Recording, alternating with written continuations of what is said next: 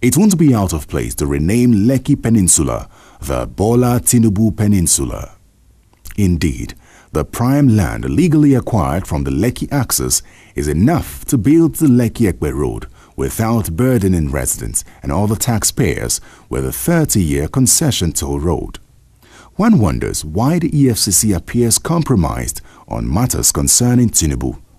If not, how come he has not been charged to court, despite several petitions against him, and in spite of Nuhu Ribadu's boastful claims that he had enough evidence to nail him? One of the governors, we think he took close to about 75% of the resources of the state. One governor took 75% of the money yeah. from the state government? And this is a state that is probably made over a billion dollars in terms of revenue. Or was it the reason he gave his ACN presidential ticket to Ribadu in 2011? It is apparent that there is a deliberate attempt at cover-up of all these alleged nefarious activities by one man. One can remember with nostalgia Tinubu's case at the Code of Conduct, but like a cat with nine lives, he still evades justice. The case against him was simple and grievous for any government official, not to talk of a governor that you, Bola Ahmed Tinubu, former governor of Lagos State, being a public officer, as listed in Part 2 of the 5th schedule to the 1999 Constitution of the Federal Republic of Nigeria, and having subscribed to the oath of office as enshrined in the 7th schedule to the 1999 Constitution on assumption of office, as such engaged yourself in the operation and maintenance of several foreign bank accounts, namely First Heritage Bank USA, Citibank NA, New York, Citibank International, New York, HSBC 177 Great Portland Street, London, amongst several others. However, in what many have come to accept as a political deal for delivering the Southwest to the ruling PDP, the federal government let Tinubu off the hook and the matter was thrown out of the tribunal on technical grounds. But for how long can Tinubu evade justice? It will be interesting to follow up on what has happened to the EFCC intervention in the case of allegations of fraud leveled against Governor Fashola by a body known as the True Face of Lagos, which led to the arrest, detention and eventual release of one Dr. Tunji Olowolafe, a prominent contractor and friend of both Tinubu and Fashola. He was arrested in Lagos by operatives of the EFCC following its investigation into allegations of financial crimes. Olowolafe, a medical doctor and owner of Duke's Projects Limited, whose company was used as front by the Lagos State Governor to execute inflated contract, was arrested on Friday, April 23, 2010 after investigators discovered that 27 contracts were awarded to the company from the State Ministry of Health and three from the Ministry of Education. Dr. Tunji Olowolafe was allegedly paid 10 billion naira from Lagos state coffers as a front for Tinubu. In the last 10 years, tax revenue has come to constitute about 75% of government revenue base. Yet, the government never bothers to render account to taxpayers in Lagos. In the last three years alone, a colossal sum of 1.1 trillion naira was budgeted by the Lagos state government, with the government itself affirming that it has consistently recorded a minimum of 75% of budget performance, out of which 80% came from internally generated revenue, IGR. This is 30% more than the entire budgets recorded by successive governments between 1992 and 2007, a period spanning 15 years. The total tax revenue of Lagos last year at the time of making the revelations showed that tax on a monthly basis hovered between 14 and 17 billion naira, while federal allocation stood at 6 billion naira monthly. This is more than the revenue of seven states in Nigeria put together on a monthly basis. Lagosians, it's time to break from the stranglehold of one man. Tinubu's godfatherism is more akin to that of unscrupulous mafia dons in Sicily. It is more of gangsterism. Tinubu's gangster godfatherism means candidates for public office of his political party are not elected by popular vote but selected from Tinubu's bedroom in Bourdillon Road and then imposed on the party. They are then held under a tight leash by the Jagaban and are required to do his bidding on pain of being summarily replaced or impeached. Bisi Akande, former chairman of Tinubu's legacy ACN party, declared unapologetically that democracy had no place in the internal arrangements of the ACN. Anyone that is not comfortable with that should go and contest in another political party, he said. APC, democracy or anti-democracy. Nothing has really changed in this stance beyond the fact that ACN has since metamorphosed into the APC. The first test was the so-called election of the chairman of the party. Instead of electing a new APC chairman, Odigie Oyegun was allegedly rigged into the office by Tinubu. Tom Ikimi blew the whistle on Tinubu, insisting he never dropped out of the race for Oyegun but was forced out because at that time, Tinubu had designs for a Muslim-Muslim APC presidential ticket, with him as the vice presidential candidate. Ali Modu Sheriff was even reported to have been so incensed by Tinubu at an APC NEC meeting that he threatened to beat Tinubu up. Both of those men have since left the APC. The charade in the selection of a governorship candidate for Lagos was no different. A tiger never really changes its stripes. It was the rehatch of the primaries that brought in Fashola in 2007. Tinubu simply masterminded the primaries. Once the results started to be declared, the other contestants realized they had been conned. They all stormed out of the venue in protest, leaving only Ambode and Ganiyu Solomon. Tinubu pleaded with aspirants to accept the contrived outcome, saying, you are 12 aspirants, and like the 12 tribes of Israel, you have some differences, but you must remain one and united. It is ironic to point out that the 12 tribes of Israel were not united. Instead, they split, with two tribes becoming the kingdom of Judah and the remaining 10 the kingdom of Israel. A house divided against itself cannot stand. Maybe it would not be out of place to remind the Ashiwaju of history repeating itself in the next elections in Lagos. In 1991, the Social Democratic Party, SDP, won an overwhelming 26 of the 30 seats in the House of Assembly election. However, it lost the election of governor to the National Republican Convention, NRC, and Sir Michael Otedola became governor of Lagos as a result of conflict and split within the SDP.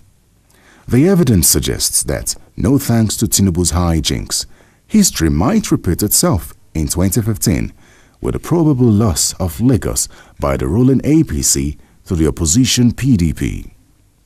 It has to be stressed that even Tinubu and Fashola have had their share of quarrels in the sharing of their spoils. The arrest of Olowolafe was said to be the climax of the bitter feud between Tinubu and his godson over certain fundamental issues chief among which is the control of finances of the state. In December 2009, there were reports that Babatunde Fashola and Bola Tinubu had fallen out over the issue of whether Fashola should run for re-election in 2011, with Tinubu said to be supporting the Commissioner for Environment, Muiz Banire. Fashola's nemesis, as it were, was his complaint about the huge monthly deductions of over 3 billion naira from the state coffers every month as consultancy fee by Tinubu's tax company Alpha Beta from the almost 30 billion naira internally generated revenue IGR. This day, December 19, 2009, in one of its articles sums it up thus Tunji Olowolafe is a crony and convenient front for Tinubu. Sources claim that Tinubu's role in installing Fashola as governor of the state is the biggest hindrance for the present regime. An agreement between Fashola and Tinubu over the duration of the tenure of governorship, as well as the selection of certain cabinet members, paints a vivid picture on the sort of bind Fashola is in. And this bind will continue with the present governorship aspirant Ambode, if he is allowed to win the next elections in Lagos. Emperor Tinubu knows how to keep his acolytes under check. For those who might want to claim Ambode might be a man of his own, not under Tinubu. Governor Fashola still remains a case study for the alleged deviousness of Bola Ahmed Tinubu. There is the multi-billion naira Badagry Mile 2 10-lane highway built by Julius Berger and the Lekki Epe Highway which Tinubu arm twisted Fashola and in short he got a 30-year concession to build, operate and transfer. For those who know the Lion of Bourdillon, it's all about the influence of Tinubu. He wants to run the government. He was angry Fashola won't let him. He wanted the Badagry Mile 2 contract, but when Fashola gave it to Berger, because Tinubu had the Lekki Epe deal, Tinubu got angry. It is believed that this one man, Tinubu, gets all he desires, and he is still not yet done. The alleged ownership of choice properties and businesses by former Lagos State Governor Mr. Bola Ahmed Tinubu, valued at over 1 trillion naira, will rank him the most corruption-prone politician in Nigeria. Such properties and businesses include the Keja Shopping Mall, Oriental Hotel, Renaissance Hotel, First Nation Airline, Vintage Publications, publishers of the Nation newspapers, TV Continental, Radio Continental, and so many others. On the celebration of his 60th birthday, it was said he forced some APC, AC and then state governors, the 57 chairmen of local government councils and the local council development areas of Lagos State to cough out 2 billion naira for the event. Though yet to be listed in the authoritative Forbes Fortune 100, Tinubu is arguably Nigeria's biggest landlord. His ownership of choice real estate and swaths of lands running into thousands of acres of public lands is second only to the federal government and the Lagos state government. In terms of direct cash value and return on investment, Tinubu's real estate holding may be worth more than even that of the federal government in Lagos state.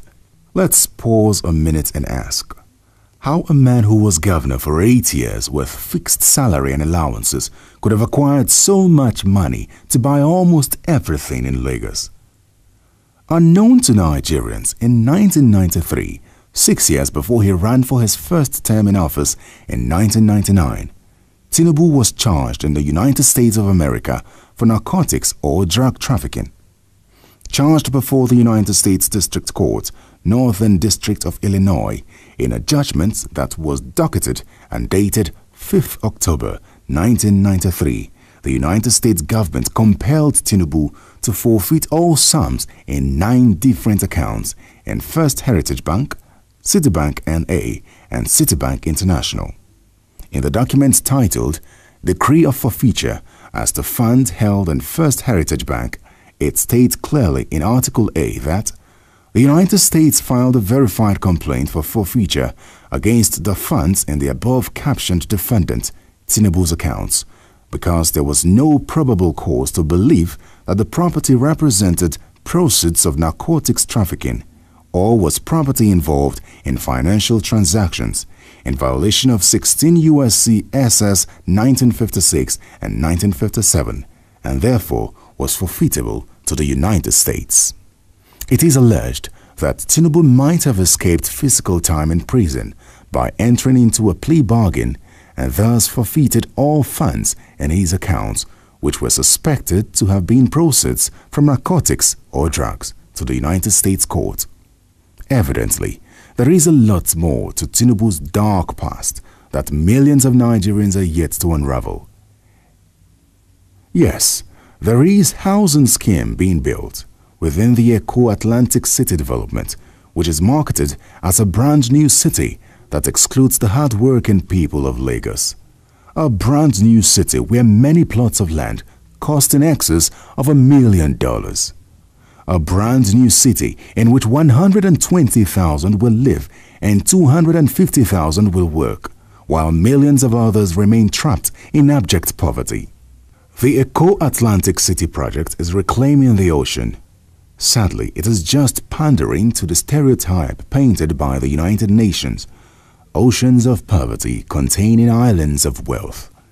It so happens that this particular island is being built with an ocean of wealth by an ocean that is flooding the accommodation of millions of less wealthy people across Lagos. Where are the new houses and improved infrastructure in Mushin, Alimosho, and Ajeromi Ifelodun? Or are they not part of Lagos? From the foregoing, there is no doubt that the regime of corruption in Lagos, initiated by Emperor Bola Ahmed Tinubu and continued by his godson Fashola, and to be continued by Ambode if he wins, has put the southwest state in a serious deficit. Tinubu and his acolytes have put millions of Lagosians today, and even children yet unborn, into a slavery of debts. May God bless Nigeria. May God bless Lagos State.